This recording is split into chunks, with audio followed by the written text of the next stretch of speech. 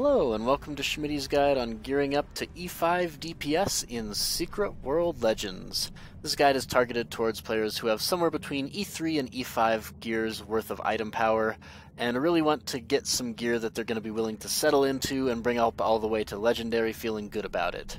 So we'll get to that in just a moment, but first things first, the quality of life patch has just come through, making several significant changes to the game.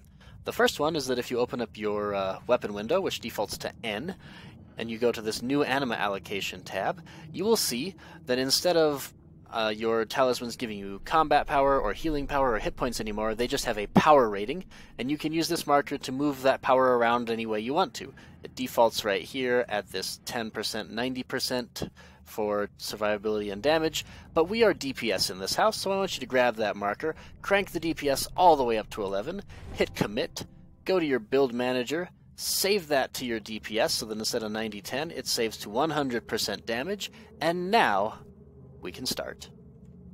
So we're going to look at talismans first, because they're kind of the foundation of any build you have, because you'll be slotting pretty much all the rest of the stuff you get for your gear onto these talismans. So you want to make sure these talismans are good. So the first thing, obviously, is make sure they are all three pip talismans. And on top of that, you're going to want to try to make them be extraordinary. Talismans that have these extra beneficial effects, like Ashes of Crushed Cities. Whenever you hit the same enemy three times in a row, you deal extra damage. Uh, most of these talismans are going for somewhere between 20,000 and 50,000 marks of favor, which I'm just going to be calling moths. Uh, this one is one of the few exceptions, going for about 100,000 right now for the Radiant version. But you don't have to pick this one up first. You can start with something like uh, Skitty's Ring, which doesn't have a great effect for DPS, but it's extra damage once in a while if you purge or interrupt something. Uh, then also you can get the Radiant Seed of Aggression, which is also fairly inexpensive and has a very solid flexible effect.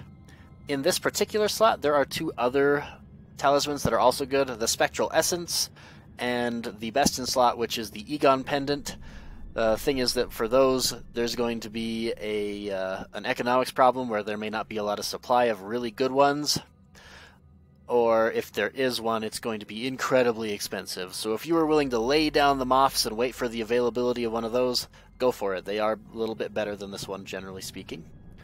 Then for our wrist slot, we have the Radiant Iron Silver Bracelet. Uh, in a dungeon setting, you are basically going to be doing this every single time you hit because your opponent will always be either exposed or debilitated. So it's a great talisman as well. In the luck slot, we have two good talismans.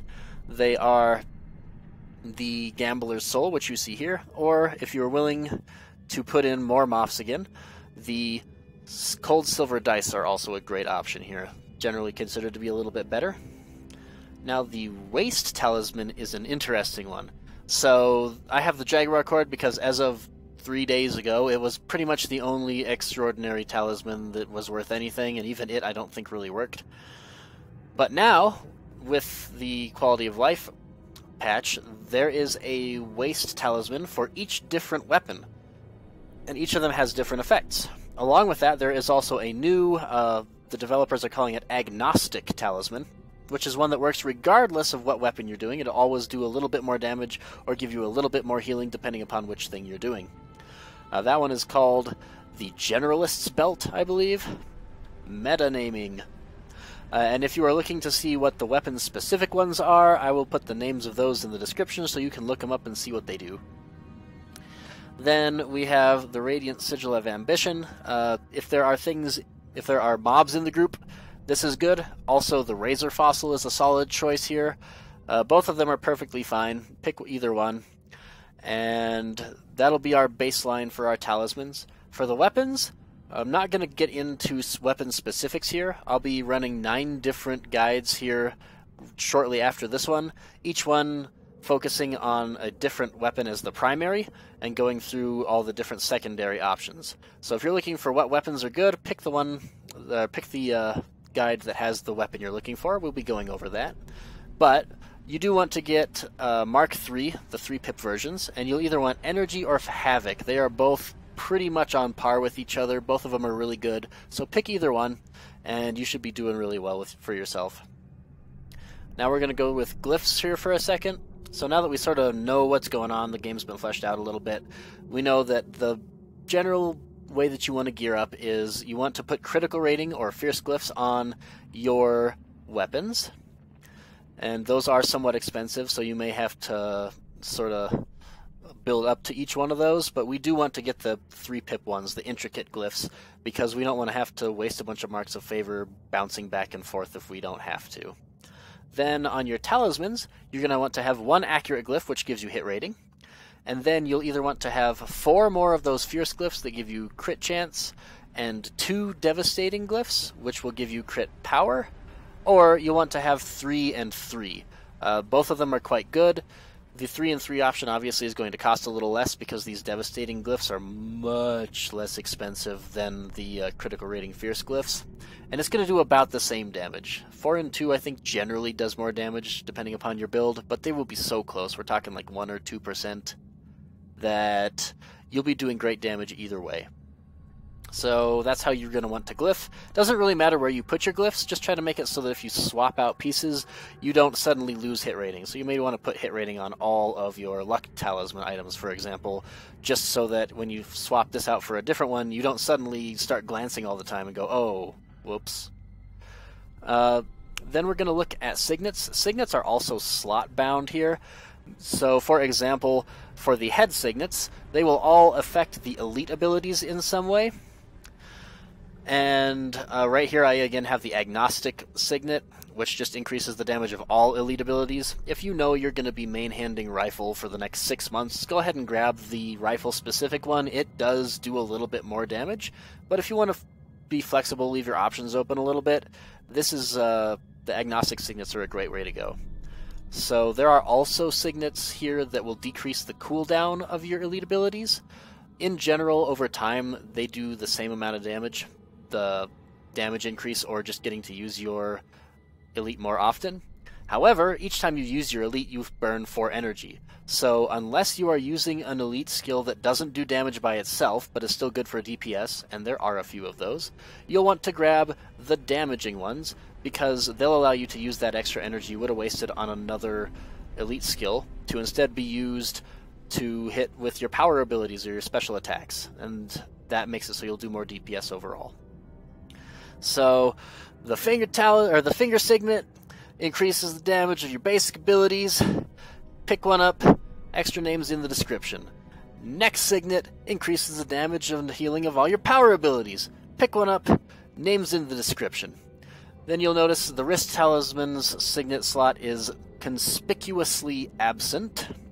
Uh, this is because right now the only thing you can slot there is for an ultimate ability, which isn't really part of a real DPS rotation. It's like for trying to save the party from wipes when he's only got 20, 30,000 hit points left and everybody else is dead. And it's probably going to be the slot where auxiliary signets are going to be once auxiliary weapons are put into the game. So I'm sort of in wait and see mode for this particular slot right now. The luck signets all have some proc that occurs when you critically hit. Laceration is far and away the best item to be using here for a DPS. Pick some up even though they're a little expensive. Then the waist signets all affect gadgets. Again, there's one that increases damage and one that reduces cooldown. They do about the same damage, so we need to find something else that differentiates them again, much like the elite one. In this case, there's no energy, but gadgets tend to be more for utility and flexibility. So the more often you can use them, the more often you'll be able to have the chance to use it for what you want to. If you need to dash back into a fight with your rapid engagement module, for example, you're not really using it for the damage so much as the ability to get back into melee range with your melee build that has a hammer in it, so that you can keep doing damage and you lose as little time as possible to just not being able to attack. And then finally, we are going to have our Occult Talisman's Signet, which affects dodges. I'm a big fan of acrobatics for two reasons. First, in dungeon situations, that ability to have burst movement with your dodge is uh, really good, and dodges are actually being used as procs for weapons. There's a pistol, extraordinary pistol, that gives you a matching set anytime that you dodge roll. So it's actually being used for procs that may be of considerable use in the future. Honorable mention here, though, is agility, which uh, increases your speed for a short period of time after you dodge roll. Both of them are solid options. And that is all the gear. The only thing we have left to look at real quick is uh, the gadgets that I think are going to be useful as a DPS. First, if you are meleeing, of course, we've already seen this. Rapid Engagement Module is great. Uh, then, one of the great reasons why the cooldown is so important on your waist signet is because the best DPS gadget in the game right now, which is the legendary version of the Metabolic Accelerator, doesn't do damage. It just gives you more energy. So the shorter the cooldown, the more often you get energy. I like Superluminal Bridging Device. It is a nice little backdash, an untargeted dash, unlike the uh, Rapid Engagement module where you need to dash towards a target. And it actually teleports you, so you can dodge through things that would kill you otherwise, because your character will just vanish and reappear on the other side of them. And then, um, that's not the one we want. There we go. The uh, distractor is point blank AoE. Make sure you take that into account. But it is a detaunt in case you happen to be doing enough damage that you take aggro. Then we got some honorable mentions. Uh, Phoenician support stratagem is quite good on fights where you might get stunned, such as the last fight of Darkness War, or uh, fights where you get hindered, specifically in the fifth fight of Polaris during the Primordial Dweller the ads will hinder you and then explode. Not only does this stop the hinder, but this also negates the damage from the explosion. You can actually use this to just save yourself from an explosion that would otherwise do, you know, five times your maximum HP worth of damage. So that's pretty good. Uh, I also like the Mistress's Bashosin, which is good for uh, getting ads off of you and giving yourself more time to get rid of them before they kill you, or giving yourself more time to get to the tank so the tank can take them off of you.